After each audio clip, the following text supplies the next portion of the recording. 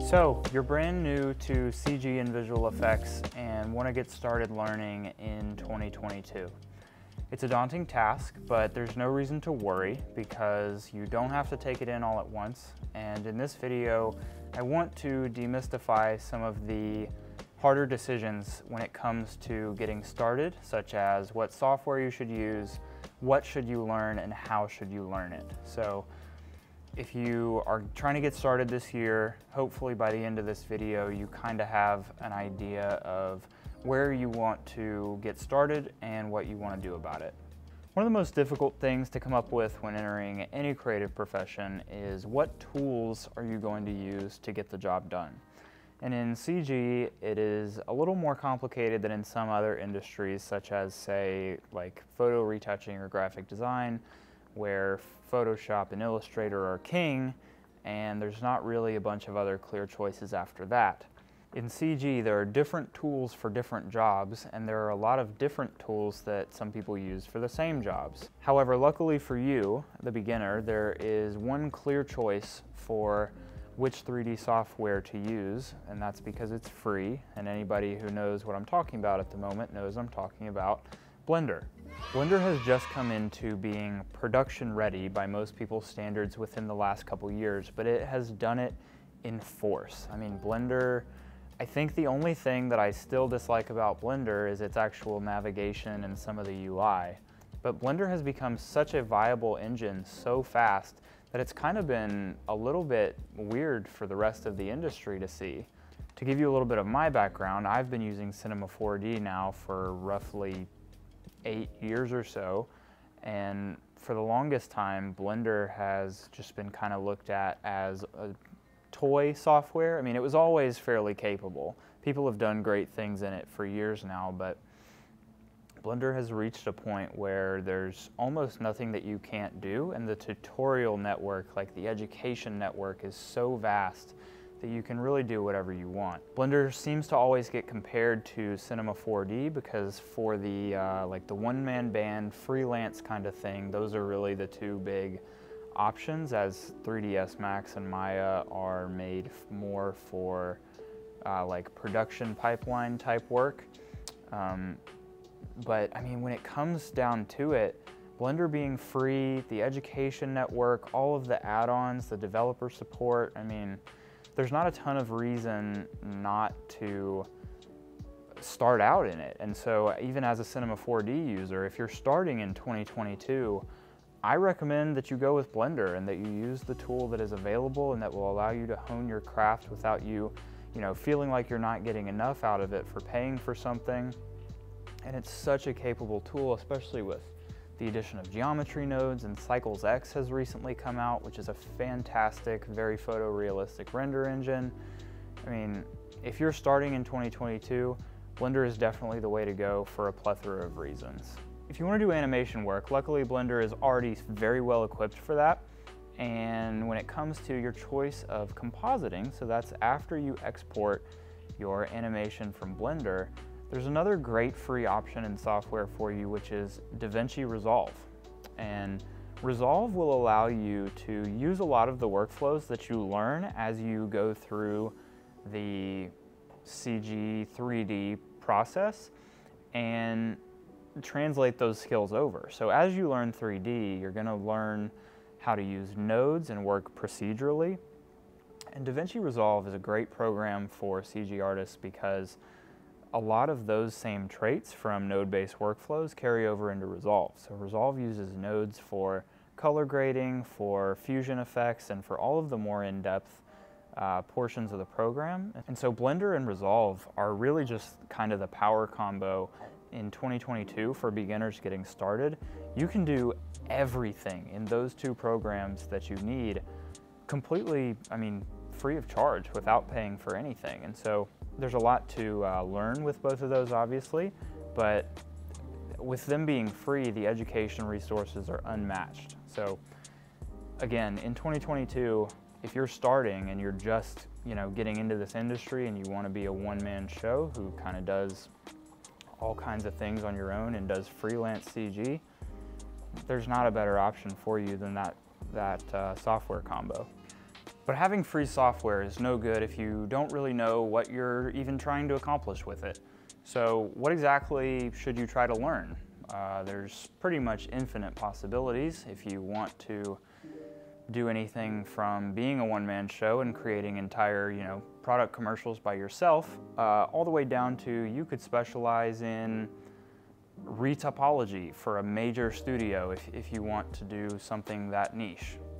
So the answer to this question is uh, partially that it's up to you. So if you already know that you want to do sci-fi hard surface modeling and that that's all you want to do, then go for that. But if you are kind of on the other end of the spectrum where you maybe want to do freelance work uh, just so that you never have to work for a studio, but you aren't really you know, sure where to start and know that you're going to end up needing to do a lot of different things, then there are a couple places that I think you should start. The first of those being right here with cameras, and more specifically, cameras and lighting and lenses, how lenses work. Um, you know, learn about uh, focal length and aperture and shutter speed for motion blur. Knowing how this works has been the single greatest advantage that I've had in my CG career. Because once you understand how this works and how lighting works and how some materialing works, the sky is really the limit and all you have to do is figure out the technicalities of the software that you're working in because these principles remain with you forever. So no matter what you're rendering out, you can always know that your shot is going to look good if you get these basic principles down. There are tons of ways to learn cameras and lighting. There are tons of different lighting techniques that you can look at. And again, with these softwares, there's just an almost unlimited amount of education on them. So I highly recommend that as a place to start. However, when it comes to learning CG and visual effects, knowing what you want to learn is only half the battle. Sometimes the learning curves in these programs can be steep enough that you can end up feeling dejected after watching a tutorial and walking away and realizing that you don't really understand anything that you just did. You just kind of followed along. And so there's a method to learning and it applies to CG, but it also kind of applies to anything that's really difficult in life. And that is just knowing how to learn. When it comes to CG and procedural design, you're gonna have to rewire your brain to think a little bit differently. So these tutorials are not gonna make sense at first, and that is okay. The first Houdini tutorial I ever did, and keep in mind this was about three years after I had been doing CG professionally full time. The first Houdini tutorial I ever did left me feeling like I didn't know the first thing about uh, CG or VFX at all. It was very demotivating. It didn't really, you know, it left none of my creativity in my body. All of it was, all of it was gone. I had no desire to continue learning. And so with learning more challenging things, how I have kind of made myself approach using tutorials is you have to follow, follow tutorials about things that you enjoy and acknowledge when you don't know something. And then once you make it through the tutorial just following along, you're gonna need to go back and do it a couple more times, gradually taking out more instruction from whatever video it is that you're watching. So in my case, how I learn best is I watch a tutorial, I go all the way through it, and then I go back and I will do what I remember and only use the video when I need it. And the whole time that I'm going through it, the second, third, fourth times, I'm explaining the steps to myself as I go out loud, like literally speaking out loud, telling myself this is why we do this so that then we get this output and blah, blah, blah, blah, blah, on down the line. And that is what rewires your brain. So you're not just memorizing steps, you're understanding why things are happening. And that's what it takes when it comes to CG. So here we are, back where we started. And you may be thinking to yourself, all of that is great information, but I'm still not exactly sure what I should be doing. So now I wanna give you some actionable steps that you can take to get started today and hopefully learn something by the end of the day. If you think you wanna get into CG work, download Blender. I mean, it's as simple as that. Open the program, mess around with that cube they give you, learn how to navigate the viewport, and then find a tutorial based on something that you actually want to learn. Creating things that you enjoy is going to motivate you when you're done to go back through and learn the process so that you can do it yourself and even add to it on your own. Follow that tutorial, study your end product, try to understand the steps that you went through to get there, and then go back to the beginning, do what you can on your own, use the video when you need it, but explain out loud to yourself as you're going why you're performing the different steps.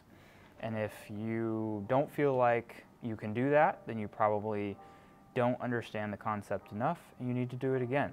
And that's okay. This is just going to take time.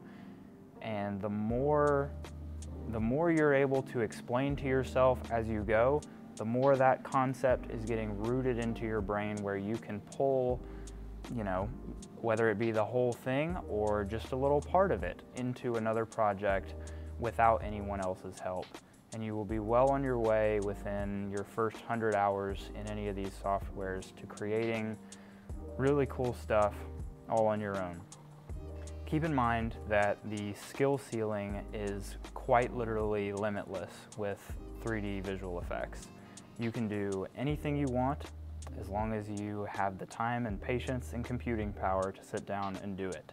You're gonna have victories, you're gonna get frustrated, and there's gonna be a lot of time in between spent on R&D. But these are the few things that I think you should do if you are just starting out with CG and visual effects in 2022. Thank you for watching this video. There's gonna be a whole series of beginner tutorials coming out uh, at some point in the near future, so get subscribed if that interests you in any way. If this video helped you out in any way, drop a like. If you have any questions, you can shoot me a tweet on Twitter, a DM on Instagram, you can comment on the video.